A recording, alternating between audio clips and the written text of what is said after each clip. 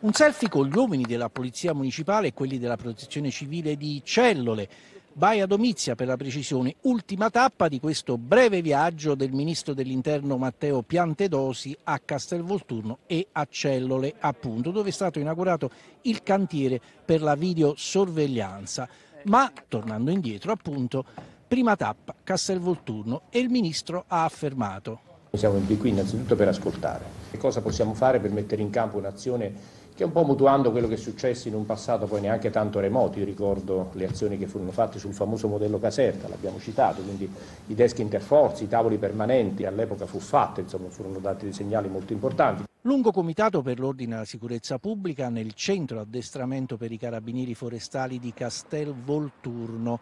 analizzati uno per uno le problematiche del territorio, dalla presenza di numerosi manufatti edilizi abusivi da abbattere, ha precisato il Ministro, alla presenza di rifiuti che vengono sversati anche da fuori territorio, alla presenza di una criminalità minore che ha rialzato la testa nell'ultimo periodo, ma su tutti ovviamente il problema dell'immigrazione, soprattutto quella clandestina, e rispetto a questo il Ministro ha promesso che fare per passi progressivi ma costanti, quindi cominciare con operazioni che mettendo insieme demolizione di immobili abusivi e intervento su alcuni nuclei di immigrati irregolari, cominciare ad affrontare progressivamente il problema fino ad una però ferma eh, risoluzione insomma, nel giro di qualche anno.